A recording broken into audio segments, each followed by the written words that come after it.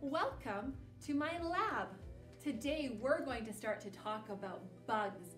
Creepy, crawly, slithery bugs. Now bugs are a very important part of God's creation.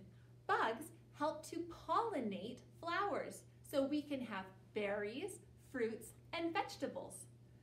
Bugs are also important because they are food for birds, frogs, and many other kinds of animals.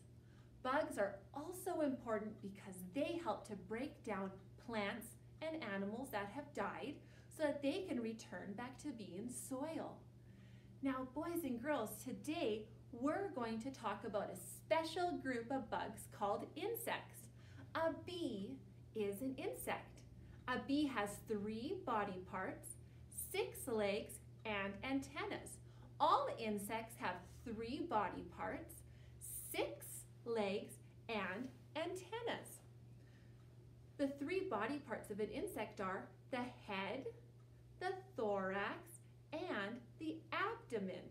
The head, the thorax, and the abdomen. You can think of it like your head, a thorax like your neck, and your abdomen like your belly. We have a fun song that you can sing along with us. It goes like this. It goes head and thorax, abdomen, abdomen, abdomen, head and thorax, abdomen, six legs, antenna.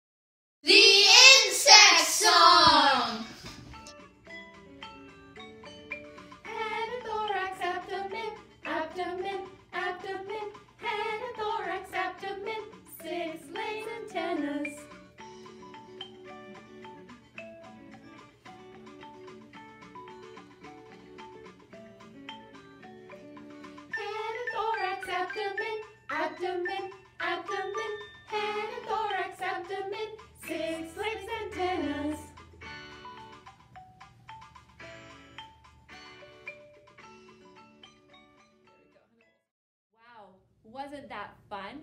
Now let's try sorting some of our bugs into insects and non-insects. Let's start with a beetle. A beetle has six legs, one, two, three, four, five, six, three body parts and antennas. Is that an insect or not an insect? You're right, that's an insect. How about a spider? A spider has eight legs. Is that an insect? No, it's not. That is an arachnid. That's not an insect. How about a ladybug? A ladybug has antennas, three body parts, and six legs. Is that an insect or not an insect? Right, that's an insect.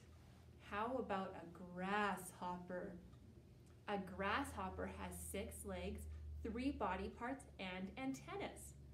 That's right, that's an insect. How about a worm? Does a worm have any legs? It doesn't. Can it be an insect? No, it can't. We're going to put that in our non-insects. How about a housefly?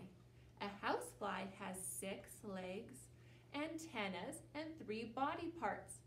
Yes, that's an insect. How about a millipede? Look at all those legs on a millipede. Is that an insect? No, it's not. It has too many legs. And lastly, I have a bee. We've already talked about how a bee is an insect. It has a head, a thorax, and an abd abdomen, six legs, and antennas. Now, go outside and see if you can find some bugs and classify them. Can you sort them into insects and non-insects? Go explore this beautiful world God has given to us. Bye.